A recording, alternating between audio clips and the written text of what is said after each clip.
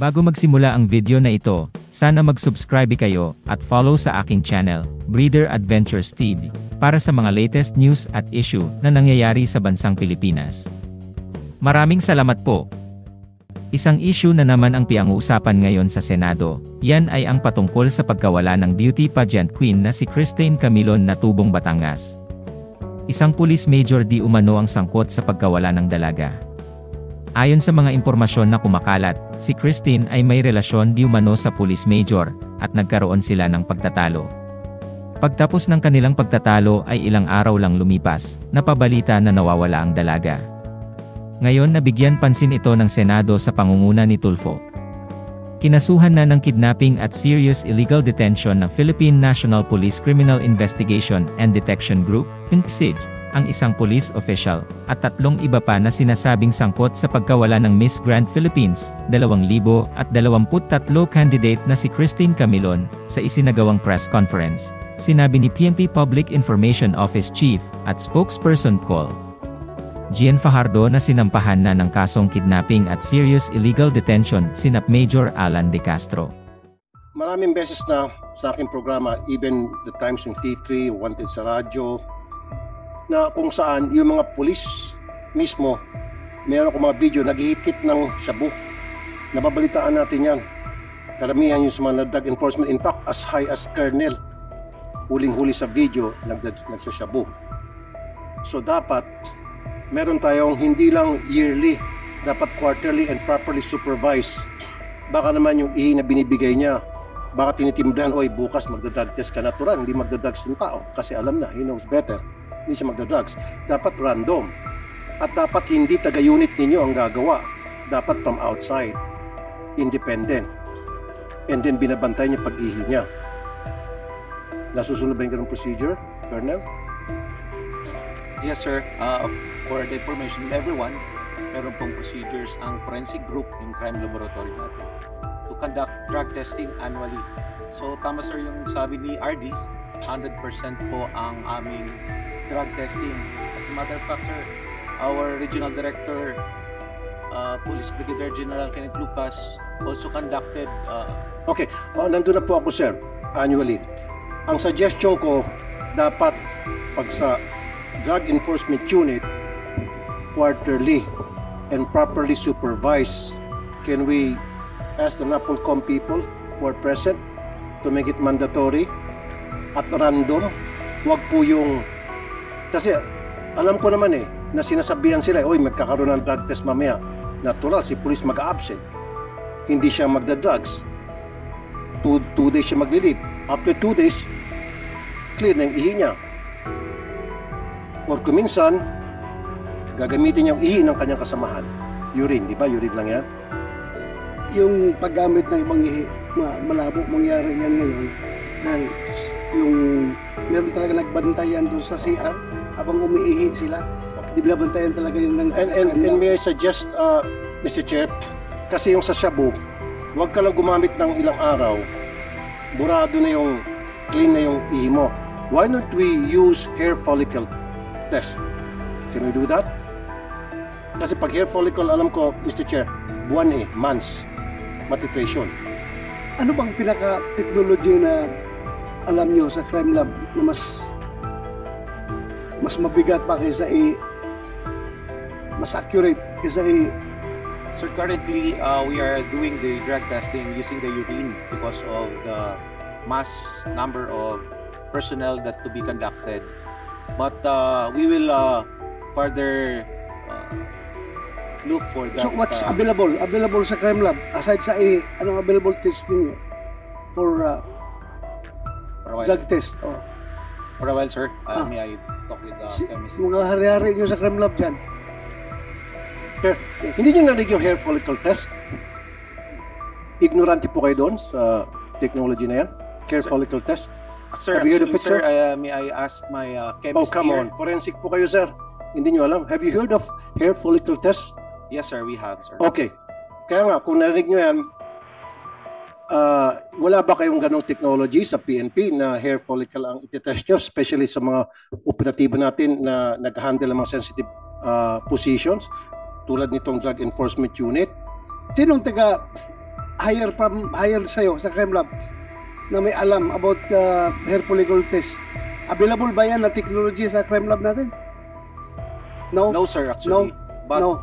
Pero you are aware of that uh, particular technology? yes, sir, I'm just looking for uh, our chemist just to explain how the hair strands are used for uh, drug testing, sir. Okay, sige, Mr. Chair, uh, nahirapan sila. Police Sige. Major Rosales, our chemist. Saan, Okay. saan siya? Pa- Pakibilis. Meron kayong ganong technology po. Kung wala, it's about time siguro uh, the PNP should acquire that kind of technology. Sa ngayon, ang pagkakalam ko, Mr. Chair, pinapadala ata sa abroad kasi we don't have that technology yet. Ang pagkakaalam ko po. Pero why don't we acquire that kind of technology? Bigyan natin sa NBI, bigyan natin sa PNP, bigyan natin sa PDEA para makatulong sa ating uh, mga taga-law enforcement, di ba? Sa proseso ng pag-identify ng mga gumagamit ng drugs. Kasi alam ko hair follicle test, goes back up to 3 or even 6 months. Alam mo yan? 99% uh, Major, Police Major Rosales, our chemist of uh, forensic. Thank you. Good morning, Your Honor. I'm Police Major Joan Rosales, Forensic Chemist presently assigned at Rizal Provincial Forensic Unit in Taytay, Rizal.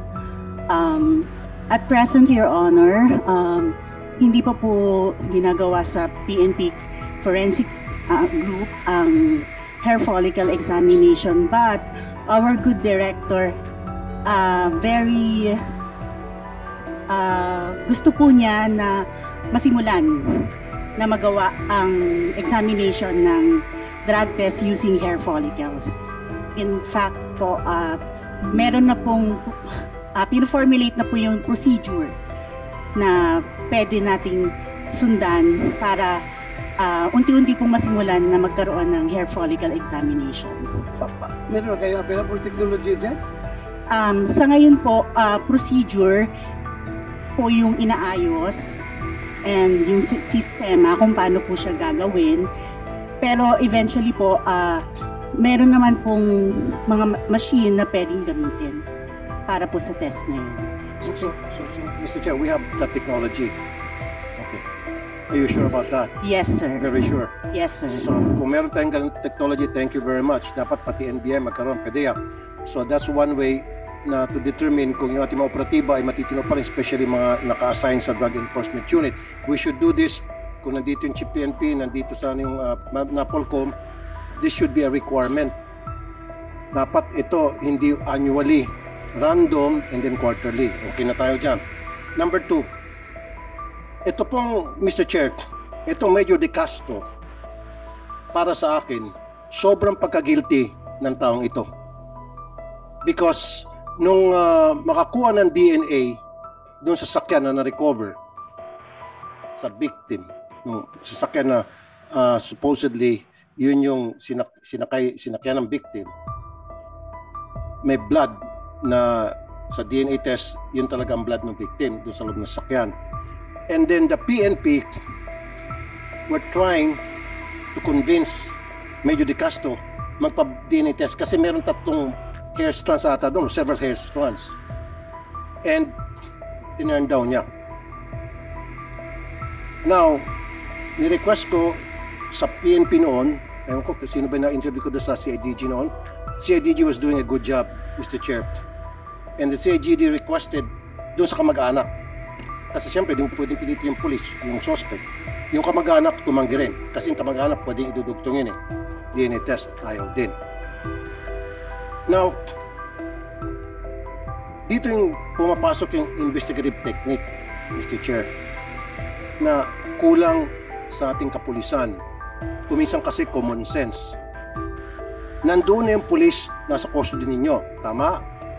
Sino ba may custody sa PNP sa Medyo noon? Sino po may custody sa PNP no at that time? Kanina po na, di ba na, nasa custody yung, yung si Medyo nakakulong o sa headquarters? Kayo po? within the, the campo, Your Honor. Kaya nga, so sino nga po mismo may custody doon kay Major while Yung was ah, inside the chief camp? po ng ah, RHS yun namin. Ano po? Chief ng ah, Regional Holding ah, Unit natin. Okay. Now, when you were asking Major De Castro to provide a DNA of his hair or hair strand, and he said no. Tama? And you stop right there. Tama nga naman, karapatan niyang tumanggi. Ba't hindi niyo po ginamit yung common sense ninyo? Nandun naman siya nakahiga, kung saan siya naghiga. Sana naman isa sa inyo, nilinis yung kama, yung unan, kumuha ng hair strand doon, kinuha yung kanyang suklay, o pagkatapos niyang maligo, tiningnan yung banyo, kumuha ng buhok na sigurado ako, siyempre manala, may nalalagas na buhok yan pag naliligo siya. Sigurado ako pag natutulog siya, may, dyan sa unan niya, may mga buhok dyan. Doon lang kayo sana kumulekta. Ba't niyo po ginawa? Kasi palagi niyo sinasabi sa akin, eh ayaw po, hindi natin maano, hindi natin pwedeng pilit yan. Tama nga naman, karapatan niya po yan na tumanggi. Tama nga naman, I agree with you. Pero gumawa kayo ng diskarte. Matagal niyo nang sinabi sa, sinasabi sa publiko na we were able to uh, uh, secure evidences, pieces of evidence like hair, hair follicles, hair strands sa kotse, and you're trying to match that hair strands. Sabi nyo. And then you, sabi nyo sa akin, nung interview ko sa radyo, ni-request nyo kay Major na mag-provide ng sample. Ayaw ni Major. So, nagantay ka ng ilang araw, baka magbagong isip. Am I right? While waiting for those 3, 4, 5 days, sana dumiskarte kayo. Yan ang sinasabi ko. Saan siya natutulog siya sa nakahiga? Pagising sa umaga, pasimple, yung unan, kunan niya ng buhok. Yung suklay niya, ano bang suklay ginagamit niya? Simple niyo, kunan niyo ng buhok doon. Sa banyo, pagkatapos niyang ligo, kukunan niyo ng buhok. Hindi po ginawa. Sir, If I may, Your Honor. In fact, naisip na po namin yan nung ah, andun siya sa office ko. Meron siyang ah, paso na pinag-inuman. Hmm. And ah, yun sana yung gagamitin namin. However, when I consulted my ah, ah, legal officer, ah, that ah, evidence might not be admissible in court. Will not be admissible in court because I, I know ah, that, Major General. I know that. consent, I know that for a fact, of course. Pero at least, it will give you a guide na para kung saan nyo i-focus yung investigation nyo. Hindi na kayo mag, mag-isip-isip na baka si Juan, si Pedro, si Mario ang suspect. At least, pag ginawa nyo yun, tapos na, na, napatunayan na talagang siya pala ito, doon na kayo magpo-focus. Si Juan na talaga, wag, wag na kayo maghanap ng ibang suspect kasi ito si Juan based dito sa na, nakalap natin na ebidensya sa DNA. Di ba? And second, yung kape na ininuman niya, anong ebidensya po nakuha niyo sa sasakyan, di ba, hair strand? Oh, hair strand, coffee. Meron pong ah, saliva dun sa paso po sa pinag-inuman niya. So, Pero, sir. Di ba may nakuha kayong hair strands doon? Sinabi niyo sa akin, di ba? Ilang pieces ho na hair strands? Three, four? O di ba? So dapat, kung saan siya natutulog, doon sa kama niya, pagising niya, imposible walang, walang, walang hair strand doon, di ba? Ah, Senator, Anyway, gusto ni Sir Dr. po hair strand to hair strand. Pero pag DNA kasi, absolute yan eh. oh, Kung DNA na makukuha sa hair strand at saka DNA na makukuha dito sa baso, magkaiba. the same, di, pareho lang yan. Kasi isa lang ang DNA ng tao eh.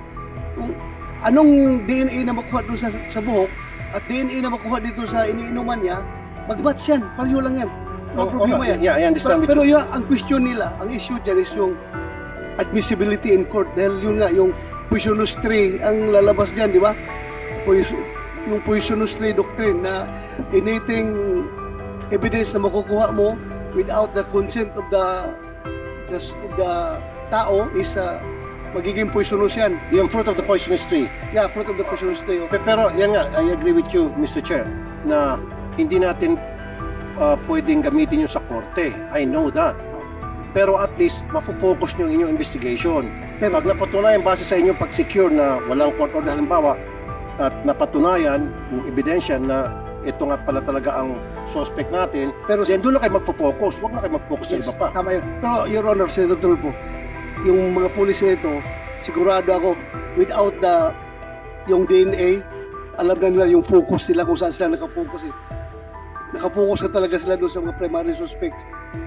Kahit na wala pang DNA results, alam na nila yung ang mga kuan nito, mga investigador nito na Chairman. Ma- yeah, go ahead, go ahead, Senator, Chairman, uh, Senator uh, Tolentino. uh, Senator Tulfo and uh, the Honorable Chair, just a point of order. Uh, why don't we allow uh, Colonel Malinaw to complete the narrative? Yung last two minutes na fast forward mo. Nasaan ngayon si uh, Catherine Camilon? Nasaan si Major De Castro? Pangatlo, ano ng status ng kaso? Tapusin mo lang yan para for purposes of the records of this committee. Yung tatlo lang yan. Yes, sir. Mabilisan na yan. Huwag mo nang step by step lahat Yes, sir. yung kanina. I'll just go directly to please provide the committee a copy of your uh, presentation to complete the loop. Yes, sir. You. comply, sir. Please proceed.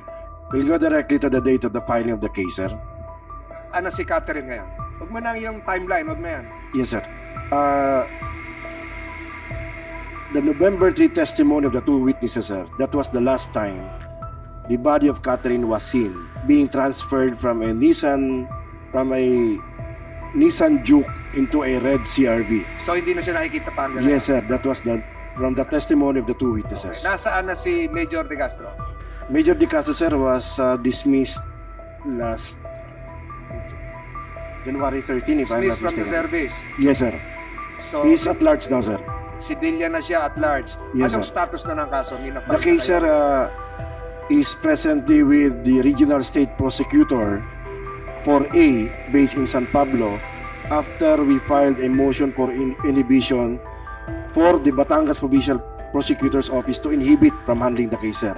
It was uh, approved, sir, by the Batangas Prosecutor's Office and transferred to the regional level of the DOJ RSP, sir. Ba- bakit, bakit sandali, Senator uh, Tol, ba- bakit uh, kayo nag-request na mag-inhibit yung prosecutor?